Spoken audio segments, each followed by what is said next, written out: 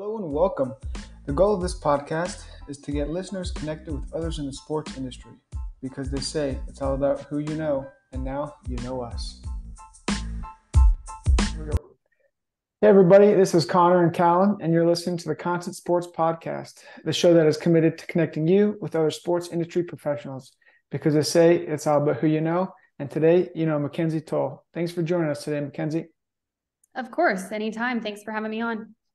Absolutely. And to give the listeners and viewers a little background on Mackenzie, she is the founder, CEO of and player agent at Tole Sports Management. So in this episode, we're going to go from marketing, sports agencies, grad school, business, uh, being a female in the in the industry, and much more. So we're looking forward to diving in and and really just having a good conversation about those things. So if you could kind of start here, Mackenzie, give us maybe a little uh, maybe not life story, but a little background on yourself and kind of how you got to where you're at today. Yeah. Um, so I grew up in a very sports heavy household. Um, both my parents played basketball. My mom is a basketball coach. My brother plays baseball at the University of Texas. So I grew up around sports. I played everything growing up. Volleyball was my main sport and what I played basically year round going into my junior and senior year of high school. And so I knew I wasn't at the level playing wise to continue um, my athletic career, but I knew sports was something that I wanted to still be a part of my everyday life. Um, originally, I went on all of my college tours to um, more of like the sports broadcasting side of things. But once I found out that you kind of have to start off doing the weather and the local news and all of that, and I wasn't, you know, going to be starting off on the field first day, I kind of pivoted from that career path and went more into just the general sports administration, sports management type of major, which is what I majored in at Ole Miss. Um, got my bachelor's of sports administration, and then I minored in business. I actually graduated in three years, not really by choice. That wasn't originally my plan, but I went in with 21 hours of dual credit classes from high school that transferred over um, at Ole Miss, which then put me a whole year ahead of schedule. So, since I knew that I was going to be graduating early, it made me have to kind of figure out my career path a little quicker than what I had planned. I knew the sports law side of stuff was what I kind of wanted to do down the road. I was very interested in the sports agent route, very interested in like the scouting and recruiting, um, having you know traveled my whole life with my brother's baseball having gone to team usa events perfect game events you know area code with the texas rangers all over played for the kansas city royals scout team things like that. I knew my connections whether it was front office and coaching wise or whether it was player wise was going to be extremely beneficial to me if i kind of went down that route.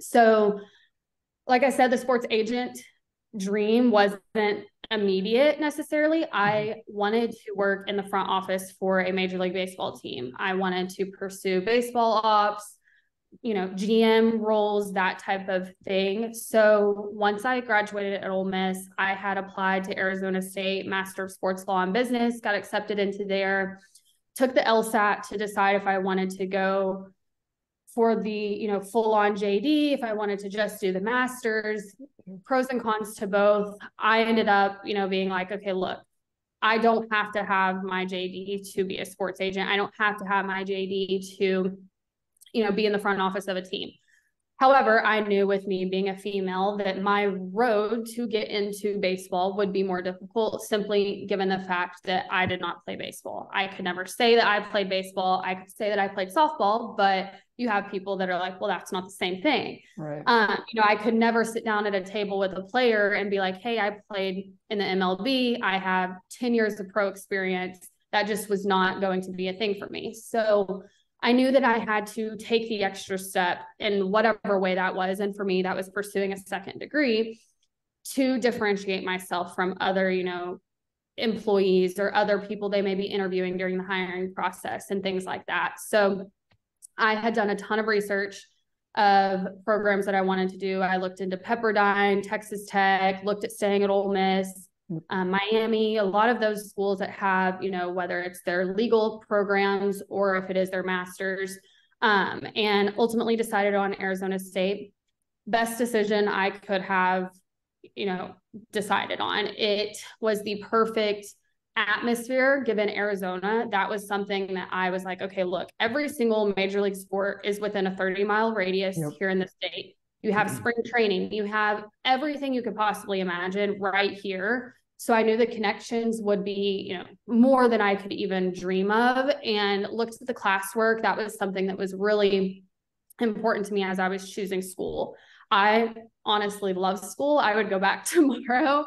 Um, I very much loved like learning about what I was going to be doing in my career. So all of the classwork was another reason why I chose ASU because I knew that you know my negotiations class, my professional sports law class, my branding and marketing, like those are things that to this day I use every day. In fact, um, a few months ago, kind of like end of the year, um, I was helping represent a client and we had a trademark issue come up. Um, there was another sport who had the same name, contacted us, sent us a notice about trademarks. And thanks to my trademark class at ASU, I then was the one that handled that whole entire thing and still kind of to this day was the one in charge of it. You know, it was like, hey, we have a trademark issue. What do we do? What are our rights? What are, you know, all of the things, sending back the legal notices, talking to their legal team, ours. And that was something that I never would have known trademark rules and oh, yeah. laws if I had not have done that in school. And so best decision ever. Um, then graduated from ASU in my master's in sports law and business in one year, and then went from there was into the real world. So that's kind of my educational background and what got me kind of to where I'm at now. Yeah, that's awesome. And uh, I mean, I completely agree with you because obviously Connor and I both went to the ASU program as well. Um, What's up? being kind of um, a central hub with all the major sports. And then obviously um, you had the goal to get into baseball and spring training and everything being there is a huge plus. Um, kind of related to that, before we really jump into your career that you're at now, uh, you mentioned you always wanted to get into sports. What was it about baseball specifically that made you say, you know, you just mentioned um, you wanted to be a baseball agent, you wanted to maybe get a GM role on the baseball side. Why baseball as opposed to kind of other sports? Um, why was baseball the only one that really stuck with you deep? Yeah. So, kind of the first and I guess most obvious answer would be given how I grew up with my brother um, the connections I knew there, and the fact that when I attended games, I wasn't just there as the sister. I wasn't just there because my parents drug me to games. I didn't, you know, sleep in in the hotel on early morning tournaments or anything like that. Like I was always there and always talking to people. I as a 15 16 17 year old would like be talking to scouts in the stands just chatting it up and um, they would ask me you know where are you going to school what do you want to do and so i had always started that kind of process really before I even realized that I was starting the networking process. Um, you know, before I even knew what networking really was, I was already doing that without noticing. And so once then I started thinking about what would be not necessarily the easiest route, but what am I good at? What do I already yep. have kind of a leg up at? And looking then at baseball was like, okay, you know all of these people, you have all of these connections, you know the GM for the Royals, you know this person. And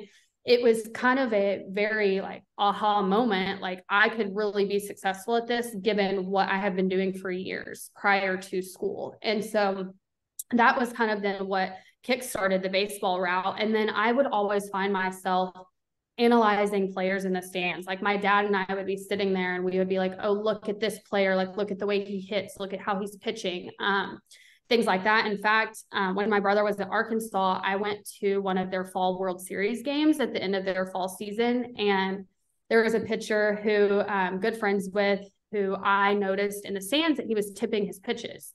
And I like looked at my dad and I was like, look at like you can tell when he's throwing a fastball, you can tell when he's throwing a breaking ball. Like we should probably say something like type of situation. After the game, I was having to get to the airport. I told my brother bye super quick and I was like, hey, look, um, you know, so and so is tipping his pitches. He's doing this when he's throwing a breaking ball, this when he's doing a fastball. And I was just there, you know, watching my brother, but I noticed it. And so I told my brother, and he's like, okay, you know, I'll talk to him. A couple days go past. Um, my brother calls me. We're catching up, and he's like, "So I told our pitching coach what you what you noticed in the stands, and so we pulled the player in. We pulled in like our media and tech guy, um, and kind of we're watching the film back, and he said we noticed it like right off the bat as soon as you pointed it out and wow. um, the pitching coach was like well i can say this is the first time someone's sister has pointed something out and so that was always kind of a funny story that i think back on of just like little things that i always caught myself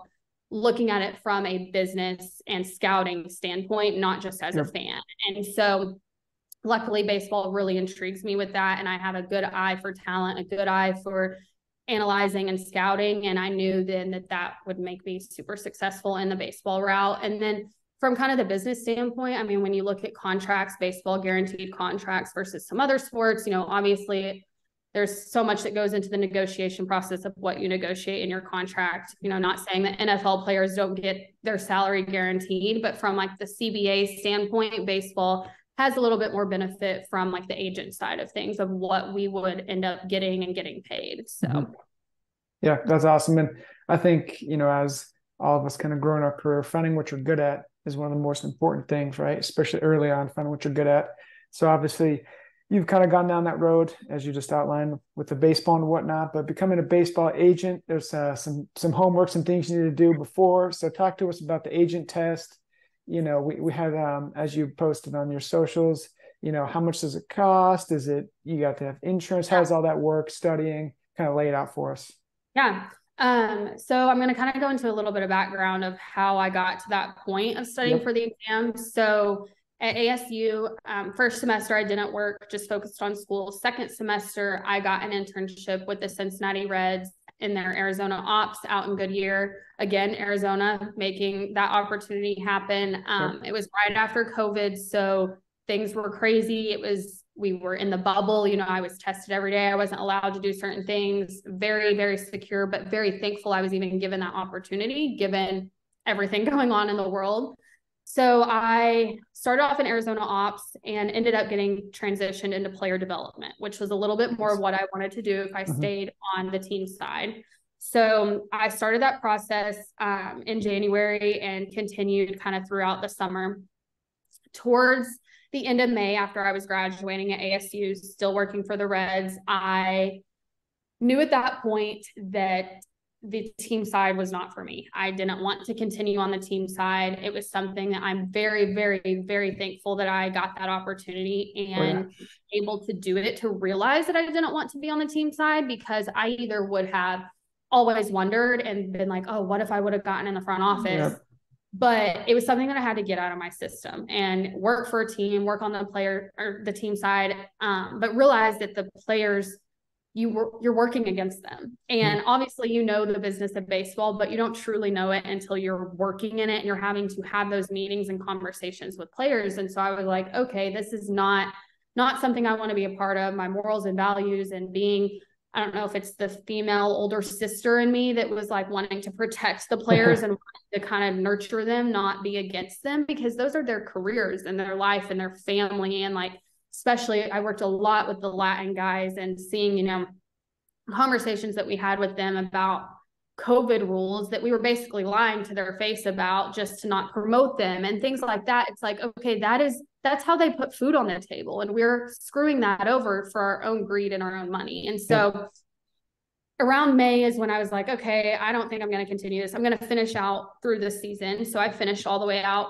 into November, you know, postseason baseball, but in May started then the process for then the player side. So I started researching the agent exam. It's a pretty simple process. And I will say I'm only speaking from the baseball side. I did no research on NFL, NBA, mm-hmm. anything like that. I know it's somewhat of a similar process, but I do know like with baseball, you technically only have to have a high school degree. Um, whereas NFL and possibly the NBA, you do have to have like maybe your bachelor's, maybe even a secondary degree, not 100% sure, but I do know baseball is pretty easy to just apply for the exam. So, given that I started the research, you know, you can basically just Google like MLBPA agent exam, takes you to the MLBPA, you create your own account and register for the exam. So, you fill all the application process out and then they give you um, everything you need to study, which I wish I had it here with me to show you, but I am a very note taker. I need to see it on paper. So I printed yep. it all out at ASU. Um, I probably some ink and paper after that one because it was a lot. But the binder was like, you know, this Oh, big. yeah.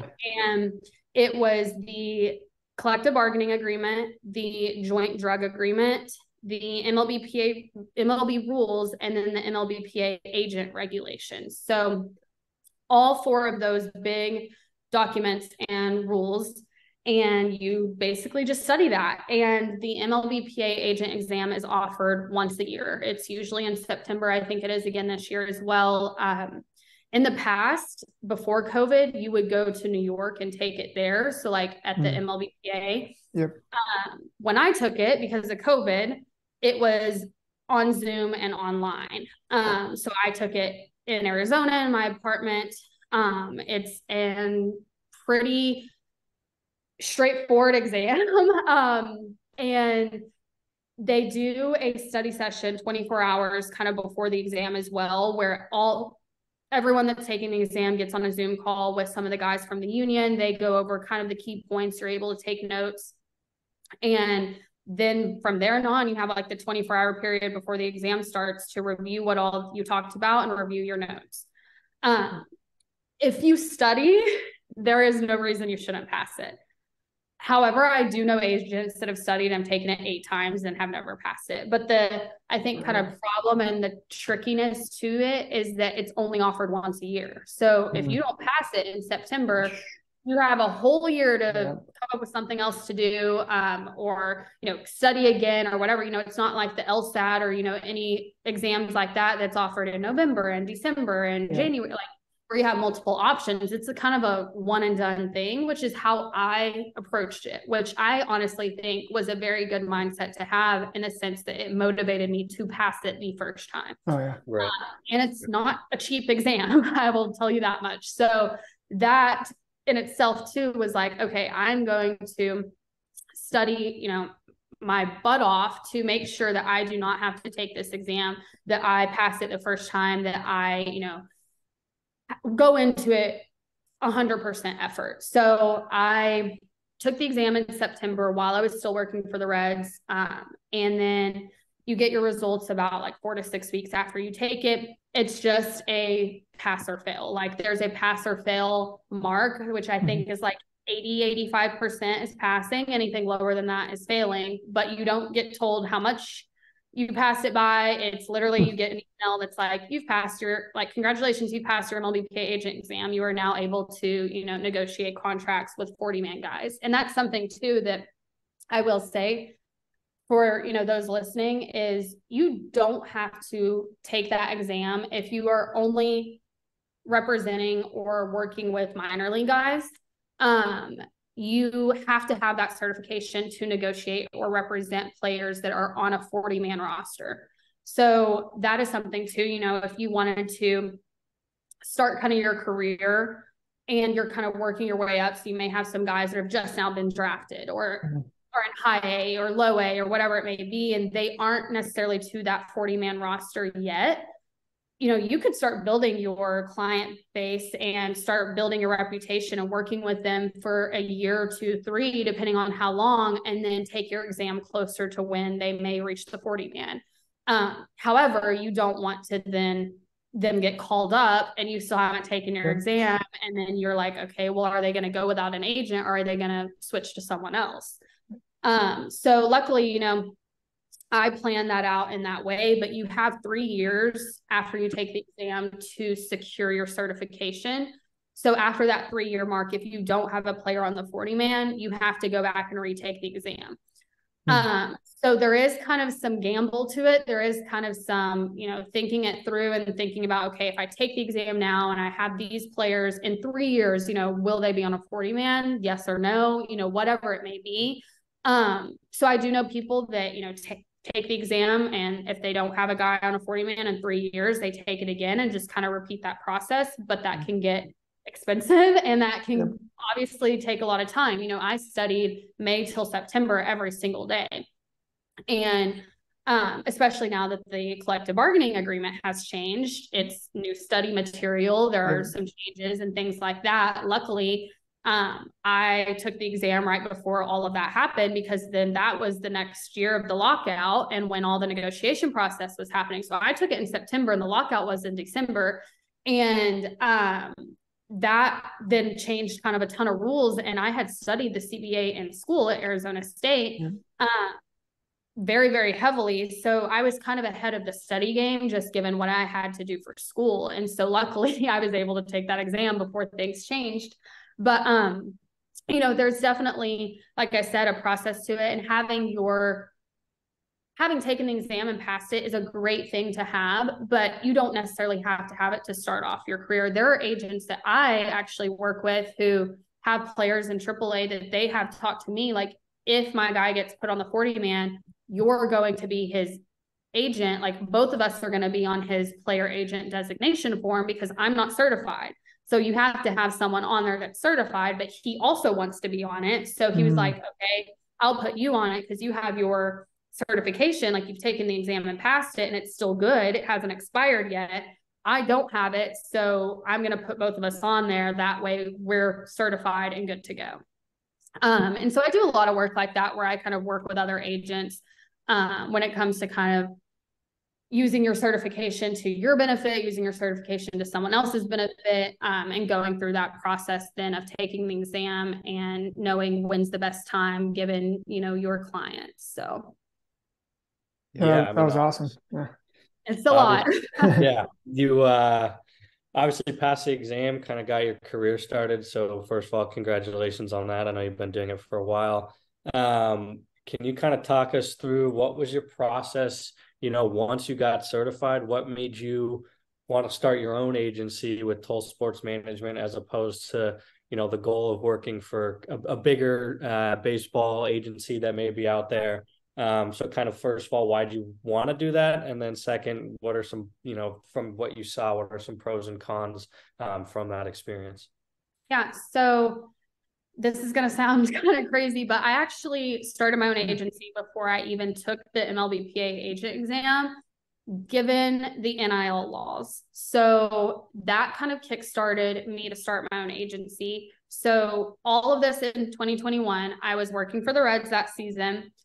The NIL laws passed in July of 2021. So we, you know, I had whenever I was in school, there was a mentor that's on ASU's board who I talked to all the time. And he's actually one of the attorneys that was on the lawsuits with student athletes in the NCAA. And he had been telling me, he's like, Mackenzie, like NIL is going to pass.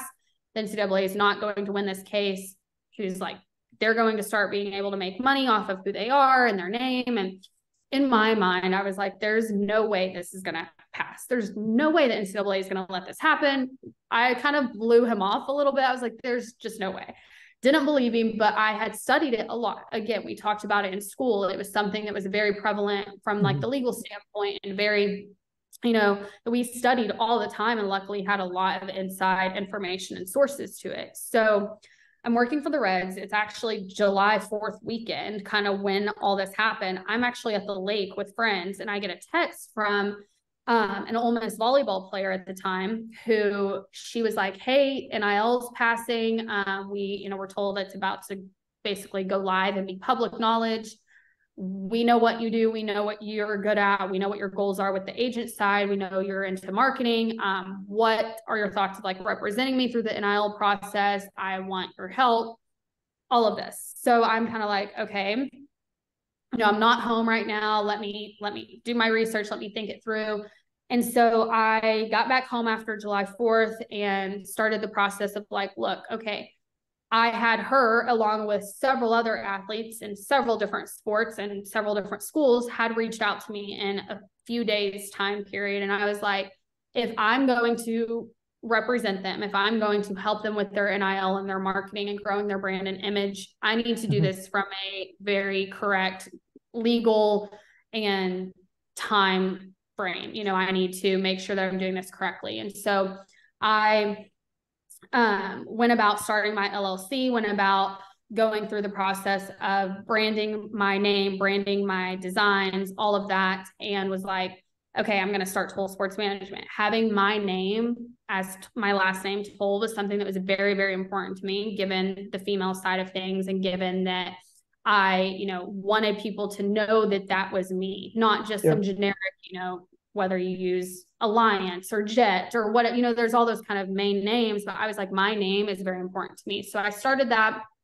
um, in July, along with then studying for the agent exam that I took in September. And so by the time I took the exam, TSM was had taken off. Um, I got certified in the states of Arkansas and Mississippi for NIL at that time um, Arkansas because of my brother, Mississippi because of where I went to school, and represented um, five University of Arkansas players, baseball players, and one Ole Miss track and field player within tens of people reaching out all the time of like, okay, I had some football guys in Texas, but the thing is with NIL, you have to be certified by the state.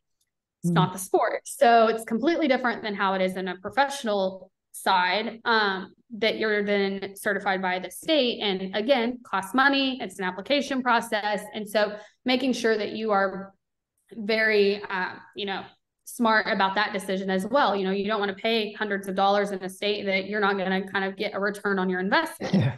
And so that was something that I, you know, didn't right off the bat go get certified in a ton of states obviously there are agents and agencies that can you know your wassermans your CAA, your Boras, they were certified in every single state the second the law was passed oh, whereas yeah.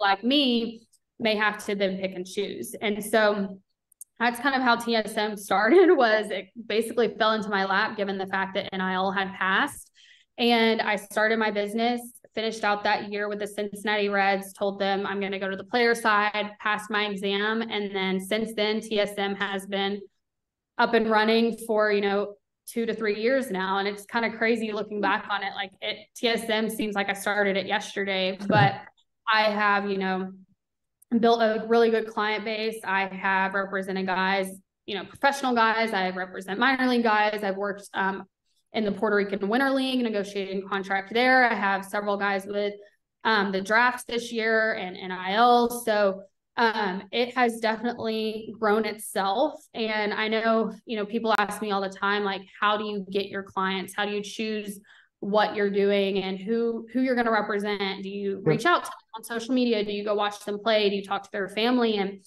um, you know, obviously there's a lot that goes into it with scouting or, and recruiting. You know, every single game I'm at, if I'm there watching my brother, I'm watching the other team as well. You know, I'm always scouting and recruiting, regardless of if I'm somewhere for fun or for work. But a lot of it has been word of mouth, which I'm extremely thankful for, and which helps me as well, given the fact that I am a small agency and I don't have you know a ton of employees or you know a ton of interns that I can send out and be like go scout these 10 games. You know it's kind of all on me to do.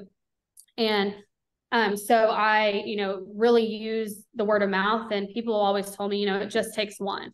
Just takes your first person that you sign and then it will you know kind of snowball effect from there. And that has definitely been true uh, you know my first kind of professional guy that i represented um, was word of mouth was we knew a mutual friend a teammate of his went to Ole Miss. He reached out to me. He was like Mackenzie's great. Like talk to her. And I started representing him. And then he told a teammate and that teammate reached out to me. And then um, the college side like I got to know a a trainer kind of out in California who trains some guys in the summer. And he sent me, you know, 20 guys. And was like, here, like start with them for NIL. And, you know, you have guys that are draft eligible or my brother played with them in the Cape and they want to, you know, become an undrafted free agent. And so, so many things like that that just kind of opens the doors to, for me. But also, you know, I do have to pick and choose. I am just a one kind of person show. I've had an intern in the past um, who helps me with that stuff, but it you can't say yes to everyone. You don't, you can't say yes to all 50 guys that reach out. And so that's something too that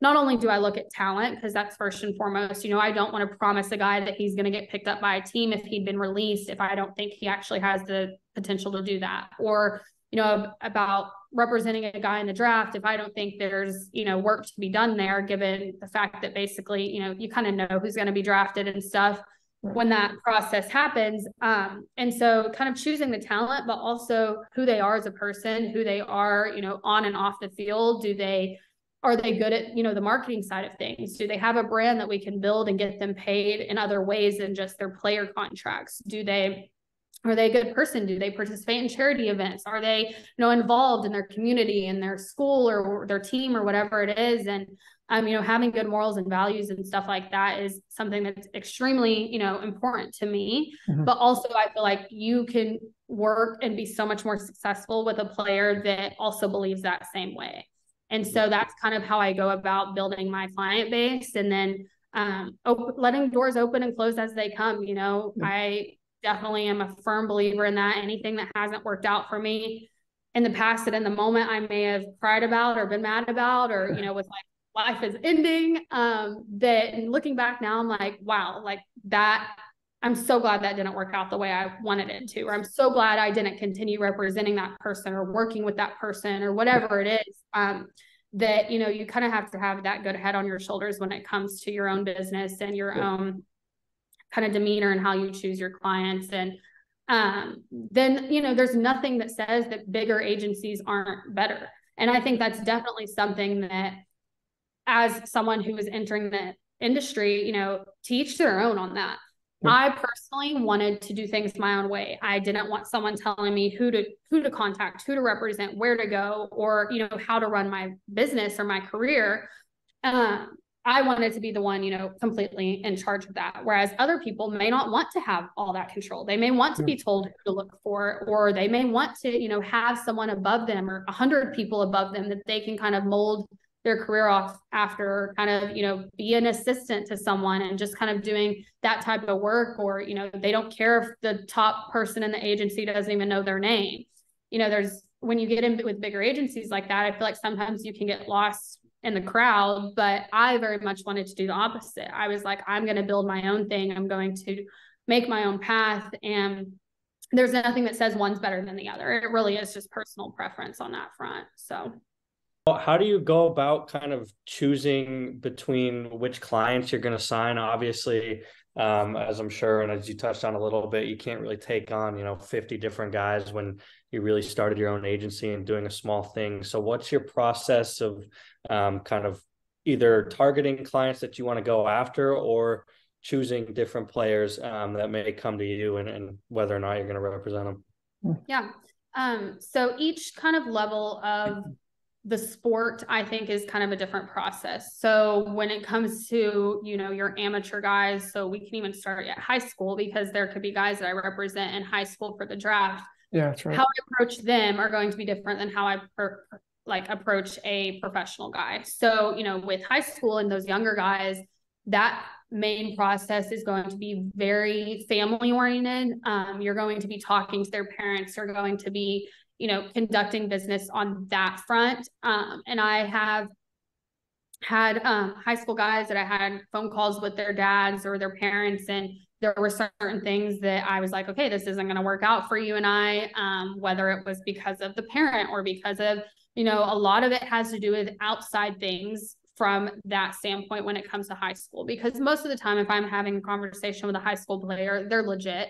You know, mm-hmm. I'm not going to waste time on a high school player that's going to be drafted. Um, but there are things that I may not want to be involved in when it comes to that. You know, is their parent crazy in the stands or you know have they made a lot of scouts or you know your kind of perfect game team usa those type of people have they made them mad you know i interned for perfect game years ago so i have you know connections there as well that i'll kind of bounce players off of when it comes to that and then with college uh, prior to nil there really wasn't a process for that now hmm. nil has completely changed the game of how we go about scouting and recruiting because if you sign a player for NIL in college and you do a good job and you get them paid and you get the marketing deals, nine times out of 10, you will continue that professional right. relationship into their professional career.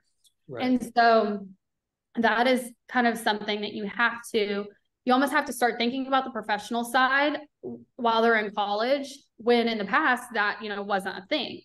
Um, and so, you know, being able to look at kind of them in college as solely from the marketing standpoint though because you aren't signing players in college to represent them professionally you can't that's against right. ncaa rules um, you are signing them as their marketing agent and obviously you can be seen as like an advisor for the draft or down the road but you are solely representing them based off of who they are, who they are as a person. Um, obviously, when you have players that are good and their stats are phenomenal and they get these awards, they're going to be easier to market, of course.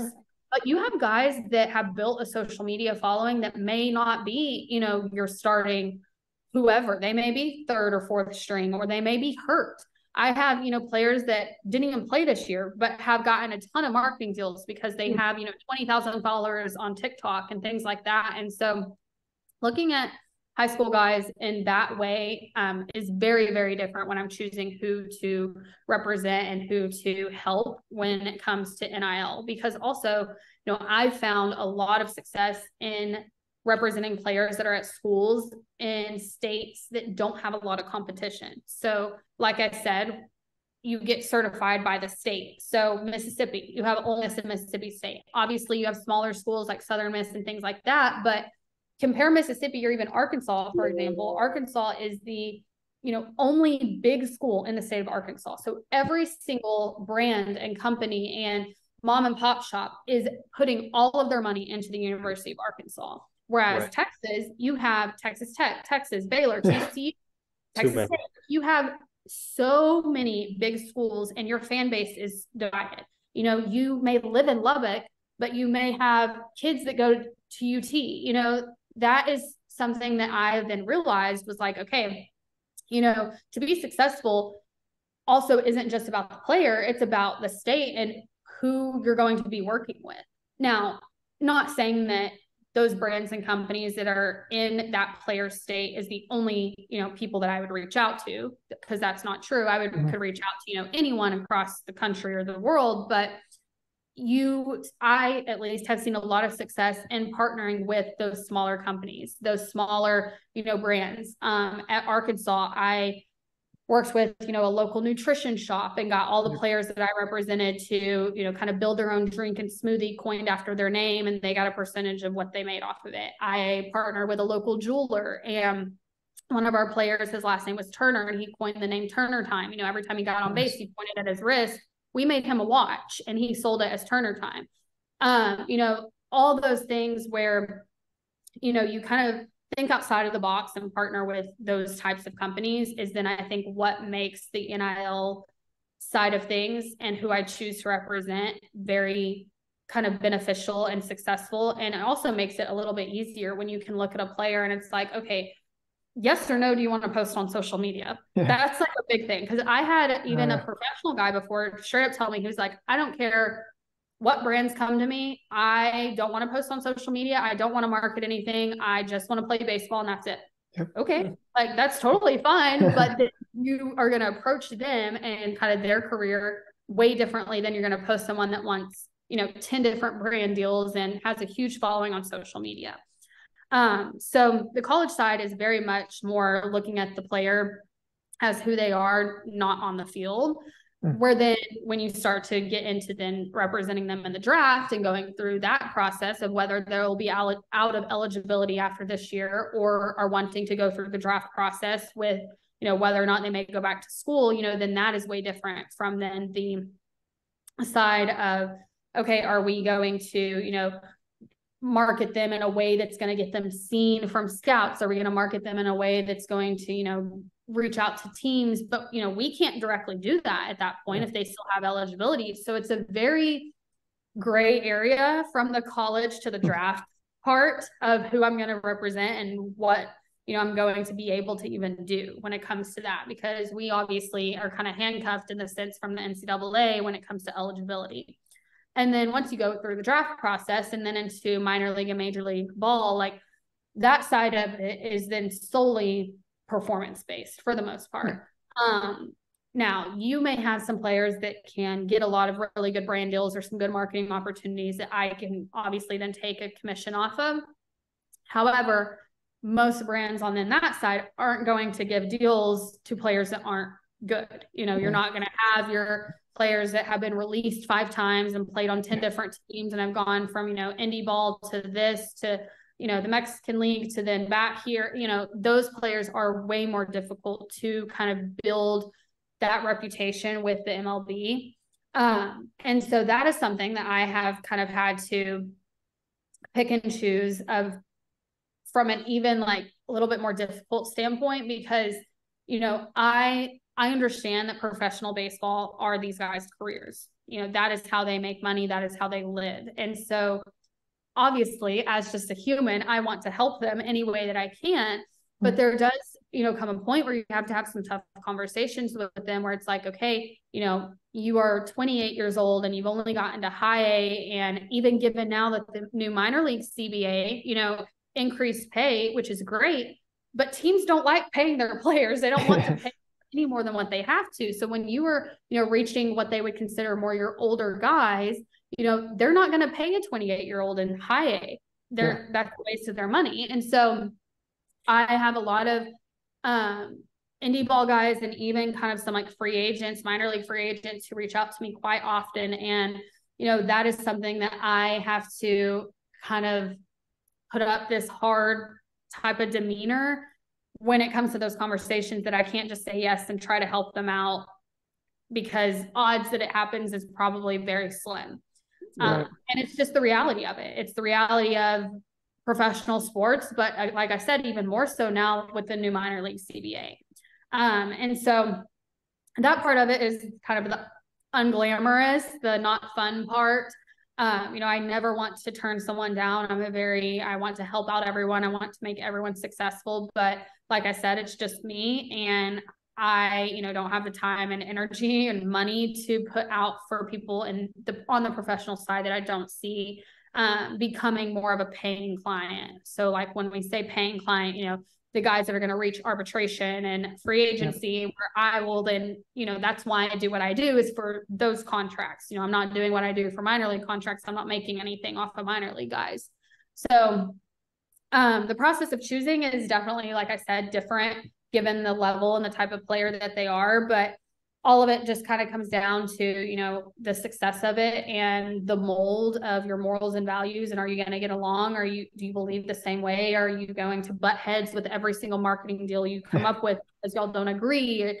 And it's a lot it's funny to say this but a lot of it makes me think of like a relationship because you are around them all the time. You are managing their life. You are you know even you know your older guys you're your relationship with their family, their girlfriend, their wives, their spouses, their kids. Like if they don't like you, the player isn't going to like you. Or, mm-hmm. you know, if you are having to find housing for your player and their girlfriend and their dogs, or if you're having to, you know, all of those things that we do on a day to day life, you're managing them 24 7. So if y'all's morals and values don't align from the beginning, it's not going to be fun, nor is it probably going to be successful. Yeah, that's that's definitely something you want to you want to figure out early on, opposed to later. that, that's for sure. And we, we've talked a little about kind of how you get clients, the marketing side, um, you know, the baseball stuff that goes into it. And as you've seen in your experience, what kind of skills have you noticed um, maybe that separate you from others, or skills that you've picked up on during your time as an agent? Yeah. Uh, so I think one of the main skills that is extremely extremely beneficial is communication um mm-hmm. that is like the number one reason that i have seen why players will fire their agent they'll be like i haven't heard from them in a year or i needed new cleats and it took him three weeks to get back to me or i you know was seeing stuff on twitter about a release or a trade or something and i couldn't get a hold of my agent because they were yeah. mia not you know i'm finding it out on social media not through my team or my agent and so or even agents that will sign players, you know, they'll get drafted and then you'll never hear from them again until you are, you know, about to make it. And it's like, okay, that's not ever how I want to do my business. I don't want to be someone that just comes around for the payday. You know, it is this industry is hard. It's hard for us and it's hard for the players. It is a grind. It is long seasons, long ways to ever make it. So many guys never make it. It's not yeah. like you know the NFL where when you're drafted, you're you know yeah you may be on like practice squad for a little bit, but like you're there. Mm-hmm. There's so many levels and years that it takes to get there, and that relationship is so important because you know if you don't like them as a person or like them as a player or can see anything you know coming about and being successful when they are you know at their worst when they are in low a when they are struggling you know then they're not going to want you around when they, Yeah. you know, turn around and make it. And so that is something that I see a lot and players that have come to me before, like, hey, I'm thinking about firing my agent. Okay, why? And it's like, well, I haven't heard from them Um, and so that is like the number one thing. And I, you know, make sure that I'm always checking in and checking in on again their spouses, their girlfriends. Like um, one of my guys, you know, whenever he was going to spring training this year, I knew him and his girlfriend and their dogs were going to be driving from New York to Arizona.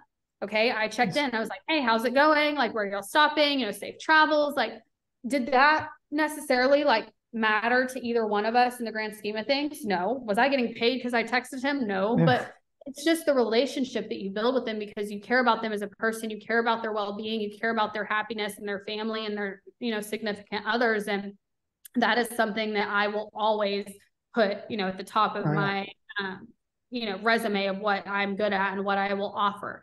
Um, and then kind of on then the other side, it's a little bit more, I guess you could say technical, but like your organization skills and your which communication organization go very hand in hand. And that's something too that like, am I, you know, gonna get their equipment ordered on time? Am I going to ship it to the right address? You have players that are in many stadiums are getting moved up and down and you may ship it to their away stadium, you may ship it to their spring training site. And it's like, okay, a simple mistake like that, like could you get something rerouted if you ship it wrong if there's a mistake absolutely but when with this industry players don't want any extra headache or any mm-hmm. extra you know work that they have to do. You ship it somewhere wrong and they have to tell you hey i haven't gotten it. Like they shouldn't have to be worrying about are their cleats going to show up or not? Which is why we even have a job is that we do all of those things for them. We do the behind the scenes thing. We do the grunt work. We do the conversations with teams when trades and releases are happening. Like we that is we are the bridge from the team and the player and everything in between all that work is on us Yeah. and if you can't you know be organized you can't communicate it to your player and things are delayed and not on time that you could have control over and obviously stuff happens but that will frustrate a player and i you know have had players in the past it was funny when i worked for the reds and uh, built very strong relationships with a lot of those guys and they would ask me what I want to do and all of that. And, you know, the agent side got brought up. They were like, honestly, if I had the choice for a female agent, like that would really intrigue me because they see it very much as like a motherly aspect, like a Mhm. nurturing and caring. And when a guy, you know, can look at a female and kind of see motherly aspects in her, it, it it draws them to you know that person and they know that they're going to be well taken care of and things are going to be on time and organized and they know that we you know have that aspect to us whereas like yes do i have days where i am very kind of a hard ass and i'm not in it for any emotions and i don't need any kind of extra drama like absolutely but there are some guys that don't ever have the other side. They don't ever Mhm. get the like emotional side. They don't ever have the caring side because they just have this front like only business demeanor put up and you know some guys don't like that. And so I think that that has you know been something that one players have told me and then I've also seen it in my clients and in guys that I've represented before and um you know things like that that that's something that I feel like I have to offer that may set me apart from, you know, a male agent when it comes to that. Um, and then obviously your, you know, normal skills as in like, do you have an eye for talent? Can you scout? Can you talk to players and their family? Um, are you, you know, can you type up correct contracts and emails? And when you're talking to brands, are you good at negotiating? Or when you're talking to teams, are you good at negotiating? Are you friends with the front office or does all of baseball hate you? um, so things like that too like i have a ton of relationships built with front office of teams whether it was because i worked for them or you know whether it's through my brother or i you know sent my resume to them years ago and we had an interview and i've kept in touch or because i text them about a client of mine. And all of those things like definitely goes into the skills that you have to have. Um, and then kind of just the perseverance and the you know persistence and having a tough skin um, that is something that you know luckily i have always had tough skin. I'm very independent very do things my own way and no one's going to tell me no. I've been like that since i was a child ask my parents. Um, and that was something kind of I realized as I was going um, through this career and as I was building my myself in this industry that like I had people um, at ASU, for example, like we had a one time like a panel of agents that came in and they were all male agents. And I'm sitting there as like a female and I'm like, okay, you know, whatever, I'll listen to what they have to say. And there was a question asked kind of about females and it came from, you know, one of us in the class and they kind of said like, you know, it's going to be really hard for you to be like an agent and a mom and a wife and have kids. Like, I don't really see how you could do that. And I got so pissed off sitting there. I was like, who are you to tell me that I can't do that? And, you know, as much as I love my career and love my job and love what I do, and that has my, you know, 100% undivided attention and effort mm-hmm. towards right now. But like my next goal in life is to be a wife and a mom and have children. And like that is, has always been a goal of mine. And I'm like, I, I will do both. And there's not a single like person or thing that will stand in my way. And I will you know, be able to be super successful in my career in baseball, but also super successful as a mom. And that was something at ASU, um, Professor Hooper, like I was very drawn to her because she is a, you know, attorney. She's an mm-hmm. agent. She's a professor. She's a wife. She's a mom. Like she did it all. And I was like, that is what I want to be. That is so cool. Like you go girl. And that was like, that is what I want to do. And, you know, you get told no more than you get told yes every day. You know there's something else that's going to knock you down. You're going to have other agents address you as mr i get emails all the time mr Tole mr Tole and i'm like hmm. you know that i'm a girl or if you don't know that i'm a girl the fact that you have an automatic email coming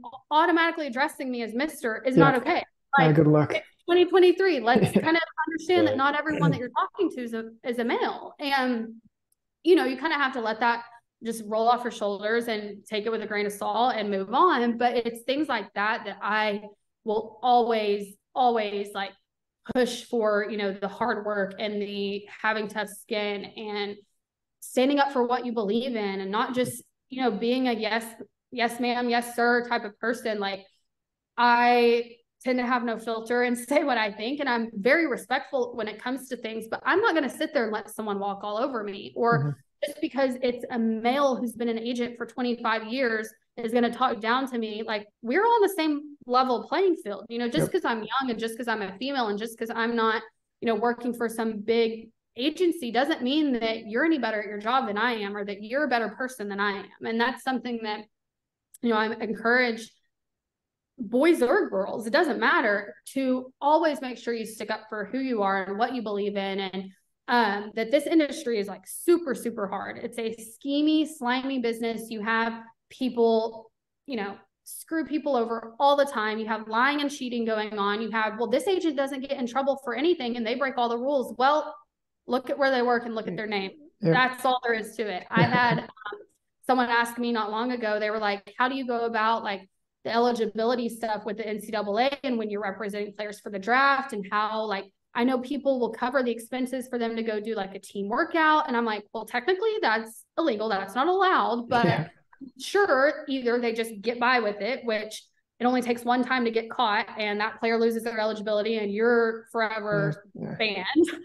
Or two, like who they are. They don't get in trouble for anything. And you just have that. And and yes, it's not fair. And yes, you're gonna have, you know, agents promising their draft guys cars and credit cards and all this stuff that happens every day that you may not be able to offer. But at the end of the day, like you are always going to run into that. And if you are good at what you do, if you stay true to who you are, if you do things the right way, the legal way, the, you know, at the end of the day, you will come out better than them. And that's something that I always have to remind myself that, like, I don't want to be known as the person that is lying and doing things wrong. I don't want to, you know, be walking on eggshells every day that I might get caught by the MLB or the NCAA for doing something wrong. And, um, you know, I, there are times where I'm like, okay, I, you know, kind of have a little bit of a pity party in the sense that like, okay, well, this is happening better for this agent and I feel like I'm behind. And I, you know, you, you have those days that everyone does in every industry where you're just like, man, this is tough.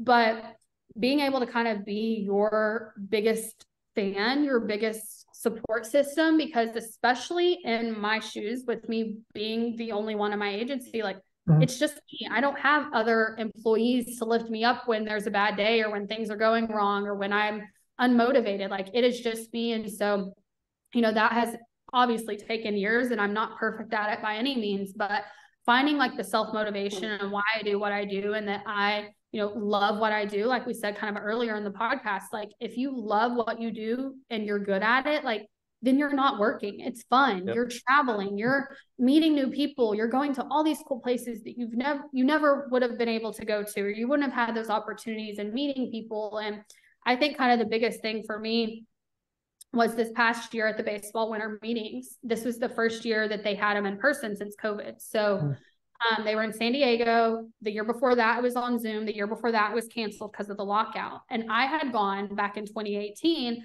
and I was still a student. I was a sophomore in college. I was the youngest person there. I was there for more the job fair, for more of like as a student. And then this year was the first year it was back in person, and I was there as a professional in the industry. And I remember texting my parents like a couple days into it, and I was like, this is so cool, but like crazy to look back on that students now are coming up to me and asking me questions and asking me for a job and giving me their business cards and their resumes. Whereas I used to be then. And yes, it was, you know, four or five years ago, but like how fast kind of time flies and when you can actually see like, wow, like I've made it in a sense. Um, obviously there's still so much I want to you know accomplish in my career but i literally took a step back at the winter meetings and was like wow this is crazy that that's awesome. I'm now here as a professional when i once was here as a student. That's sweet yeah that, that fired me up. I'm not gonna lie i'm ready to run through a brick wall. You know i um I, yeah i don't know what to say to that the um but i will i am curious kind of what's next for um for the agency do you have I guess player camps? Do you do events? Are you signing people? Kind of what, what what's next for uh, for uh, the agency here? Yeah.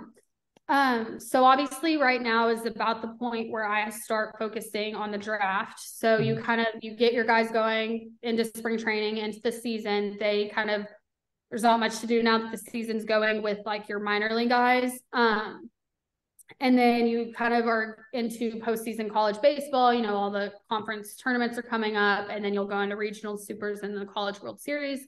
The draft is in July. So this is now the time where you kind of start looking at that um, way more than what you had been. Obviously, you have who you're going to represent. You have all the projections that we, you know, can come up with, but yeah. it's, you know, the guys that don't have eligibility left that you are able to do a little bit more for. You have the guys that can't really do anything for and you just have to hope that teams call you. You have kind of the process of okay where am i going to be on draft day? Am i going to be available for my players to call me?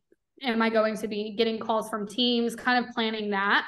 Um so that's kind of my next process is focusing on the draft focusing on what i need to do to prepare for that and then kind of also on the college side is getting guys ready for whether it's training this summer or going to the Cape for a summer ball or you know getting them you know ready after their season's over. Because some of them that season ends in a couple weeks and some of them it ends in another month but having them prepared for that. So anything that i need to do kind of on the college side now is my main focus and then leading into then more like postseason professional baseball, then is when, you know, you have the trade deadline that starts coming up. You have then once the season's over, your free agency stuff starts and all of that. And so it's kind of a process of, you know, you focus on your college, then you go more professional. And then in the off season is more like your scouting and recruiting time.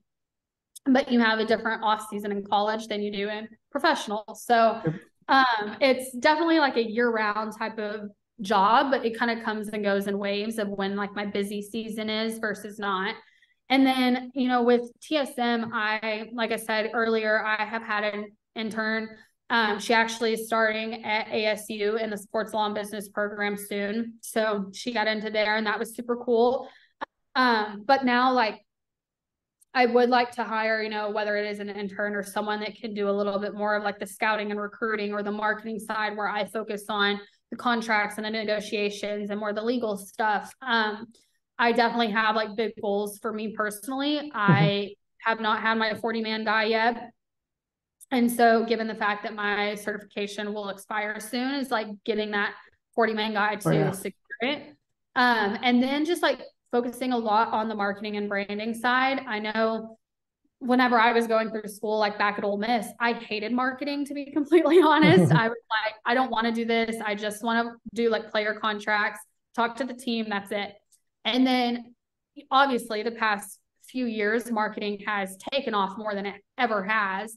And so being able to, you know, focus on branding that player and them coming up with their own brand and starting that process even younger for players who already have that established when they go into college for NIL and then into professional is like super, super important for players to you know focus on. And now that players have you have licensing now and minor league baseball and you can you know there's way more now that the new CBA has passed. It's something that is super important to kind of focus on. So the marketing side of stuff never really stops. Um, and then day to day just like I said managing their life. So it could be anything from all a of it. big all of it. Yeah a super big negotiation with a team and a contract all the way down to they need help shipping their car from spring training to the season, or if they get hurt, they need to find a place to hmm. live, or you know, you're helping their family, or you're sending them, you know, oh hey, I'm in a new city, I need you know cleats and restaurant recommendations like everything to then marketing and branding to you know anything that you could possibly imagine we manage we do it all um and so i think it's like being able to have someone who can help with that, whether it is an intern or whether it's another agency or agent, because a lot of us, we work together. We're under like independent contracts or memorandum of understandings or whatever it may be, where we work together. Um, and I've worked with, you know, super big clients that I didn't represent professionally, but I was, you know, helping them with marketing. I helped with Cy Young players. I've done stuff with other agents. And um, so the day to day changes. I'm never stuck with just my clients. I'll have players reach out to me just to help them with marketing, even though I'm not their primary agent right. for like their playing side of stuff. And so the day to day changes and there's really nothing that I don't do. And I'm constantly traveling, constantly on the road. Um, luckily in the off season, like October to February, I'm pretty stationary, um, other than the winter meetings, obviously, which is a week long, um, where everyone in baseball is in one spot. And then other than that, like when the actual season is, I'm I'm all over the place. I'd say the last like month or so, I've been in five, six different states. Um, I've been to more games that I can even count. Um, there's a game I'm going to tonight, like things like that. And so just traveling and looking at players and meeting people and being introduced and handing out your business card in random coffee shops in yep. the middle of nowhere. Like literally things happen all the time. And kind of like you said it's not necessarily always what you know it's about mm-hmm. you know. And that is something that i was told literally freshman year very first class at Ole Miss that networking will be the number one thing you ever do. And it's not about what you know it's who you know. And this is why I do what I do. And this is why I also like do these podcasts and reach out to people and answer people's phone calls and try to schedule as much of that as I can and answer questions because luckily I had really good mentors and people in my life as I was going through school and starting my career who helped me. So I'm like, if I can give even a little piece of advice or knowledge that helps someone out, whether it's, you know, helps them out from a like logistic standpoint or even from like a motivation standpoint, whatever it is, like if I can be that person that is, you know, that makes me successful, that makes me happy. That's why I do what I do. And whether it's students or players or clients of mine or brands, like I talk to people all the time and work with people and I just want to, you know, be as successful as I can from like a monetary standpoint, but also just from a good good person, helping people out and um, you know, progressing their career because when their career progresses, it progresses mine. And it's mm-hmm. definitely a teamwork type of situation. And I love what I do. I love sports. I love baseball and kind of being my own boss has definitely been challenging, but it's something that I wouldn't go back and do differently. Um, I love it. And I hope that like I can kind of leave this with anyone, you know, that you can, you can do whatever you want to do. You can be your own boss. You can start your own business. You can travel, you can meet people. And like, there's nothing in this world that should hold you back. If someone tells you no, look them in the eyes and say, watch me and do it. And Turn me up. I, Yeah, I love like when I like there's obviously females that'll reach out to me um that are like, oh my gosh, like you helped me so much. I love watching what you do. I love watching, you know, other podcasts you've been on. I love listening to you because it can be hard and it can be discouraging sometimes. So having a role model to look up to, and luckily I had that, and you know, I had people pave the way for me and hopefully I can continue doing the same for others who are in school or you know trying to start out their career or trying to figure out what their career is so. Yeah absolutely. I mean it, it's great to hear you say that. Obviously excuse me you and I have gotten to know each other a little bit over the last year and a half or so and everything you just said is correct. I kind of reached out to you because I've had a deep interest in the agency side and you've been super helpful so it's been awesome to kind of see you take off and see things grow. Um, and you're obviously a very motivated person, so I'm sure great things are coming. And we'll kind of uh, just wrap it up with uh, how can sort of the people listening stay connected with you, with your agency, whether it's uh, through social media. And uh, yeah, we're just glad we were able to be the a platform where uh, people can can come and get answers to a lot of the questions that they send you. Yeah. Um, so connect with me on socials. Um, my Instagram is Mackenzie underscore Tole, as long as my Twitter. Um, I'm on LinkedIn, Mackenzie Tole, Facebook, Mackenzie Tole, and um, you know, connect with me on all of it. Tole Sports Management has its own Instagram. It is in the bio of my personal Instagram. So anything along those lines. Um, and then, you know, if you find me on LinkedIn or, you know, want to go into my DMs and reach out or whatever it may be, shoot me an email, text, DM.